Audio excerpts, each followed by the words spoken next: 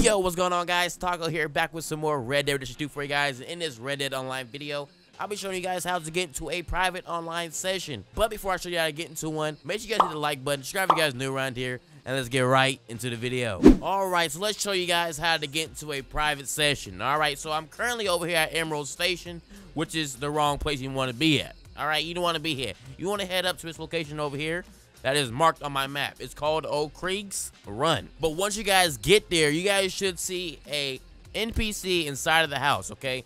Just walk inside the house and you guys should go into a cutscene. Like I said, there's going to be a cabin right here.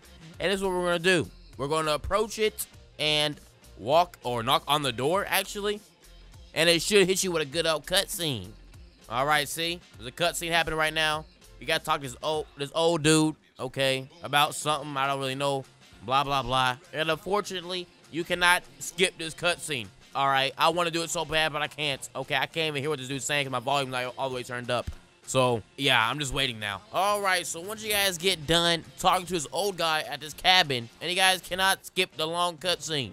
All right, so once you guys are done, basically, you guys will be put into a private session.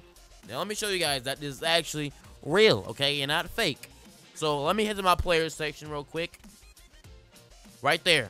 Nearby, there's no players at all, dude. Okay, no players at all in the session besides your boy over here, all right? Now, like I said, um, this is an easy way to, like, do methods and stuff like that to earn money without getting shot by griefers and stuff like that. So this is like a really good way to stop griefers. If you guys think about it, you know, you can be doing your own money runs and stuff like that without having to get bothered by people that want to ruin your experience by, and get money, okay? They just want to shoot you over and over and over again.